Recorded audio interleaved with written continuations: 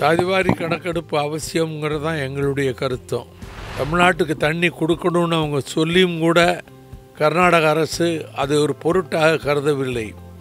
உச்சநீதிமன்றத்தினுடைய தீர்ப்பையே உதாசீனம் செய்துவிட்டு தமிழகத்துக்கு வஞ்சகம் செய்கிறது.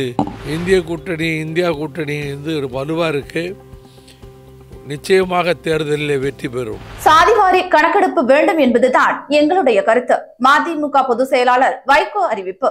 நாடாளுமன்ற தேர்தலுக்கு தொகுதி பங்கீடு குறித்து திமுகவுடன் இன்னும் பேச்சுவார்த்தை தொடங்கவில்லை. காவிரி விவகாரத்தில் உச்சநீதிமன்ற தீர்ப்பையே உதாசீனம் செய்துவிட்டு தமிழகத்தை வஞ்சுகிறது கர்நாடக அரசு என தெரிவித்துள்ளார். இந்திய கூட்டணி வலுவாக இருக்கிறது. ஐந்து மாநில தேர்தலிலும் இந்திய கூட்டணி வெற்றி பெறும் என்ற நம்பிக்கை உள்ளது என தெரிவித்துள்ளார். தங்களை நெருப்புக்கு தாரை வார்த்து கொண்ட தியாக திருவிளக்குகள் நொச்சிப்பட்டி தண்டபாணி இடிமலை உதயன் மேலப்பாளையம் ஜஹாங்கீர் உப்பிலியாபுரம் வீரப்பன் கோவை காமராசபுரம் பாலன் ஆகியோருக்கு வீரவணக்கம் செலுத்துகிற அந்த புனிதமான நேரத்தில் தமிழ்நாட்டினுடைய மேன்மைக்காகவும் தமிழர்களுடைய உயர்வுக்காகவும் நாங்கள் இந்த சபதத்தை மேற்கொள்கிறோம்.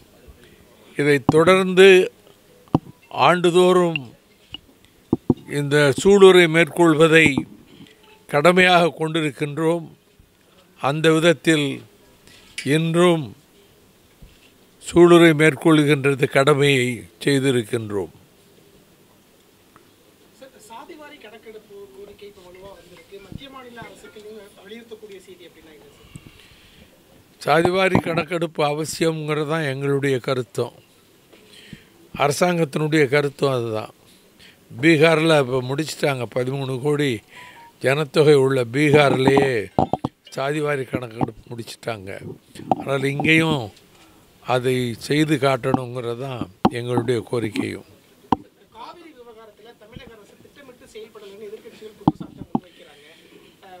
மத்திய அரசு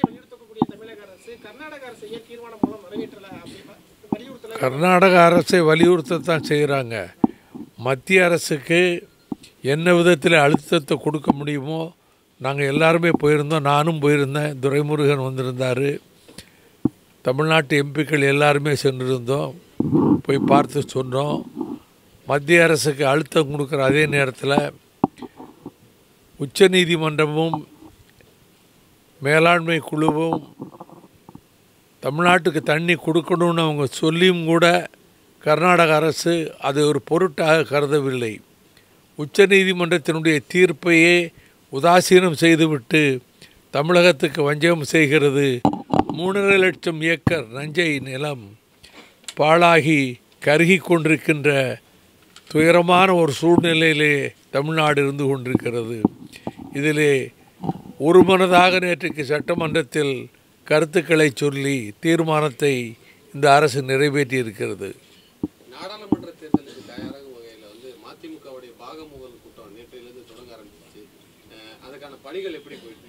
இல்லை நாங்கள் தொடர்ந்து மா பொதுக்குழு நடத்துகிறோம் பொதுக்குழு நடத்திட்டு இப்போ மாவட்ட வாரியாக முகவர்களை வாக்குச்சாவடி முகவர்களை தேர்ந்தெடுப்பதற்கு மாவட்ட வாரியாக இப்போ கூட்டம் நடந்துக்கிட்டு இருக்கு. இப்போ வந்து ஈரோடு விருதுநகர் காஞ்சிபுரம் திருச்சிங்கிற மாதிரி மதிமுக வலுவாக இருக்கக்கூடிய தொகுதியில் மட்டும் தற்பொழுது பாகமுகல் கூட்டம் இருக்கு.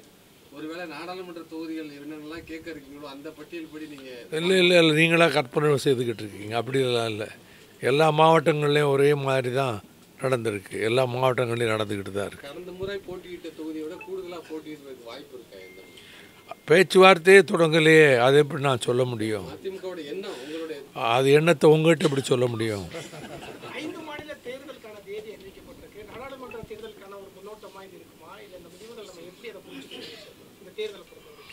ஒரு அதை வகையில் இது முன்னோட்டமாக தான் இருக்கும். இந்தியா கூட்டணியோட செயல்பாடு எப்படி இருக்கு இந்த அஞ்சு மாநில தேர்தலில் இந்திய கூட்டணி இந்தியா கூட்டணி வந்து ஒரு வலுவாக இருக்குது நிச்சயமாக தேர்தலில் வெற்றி பெறும்.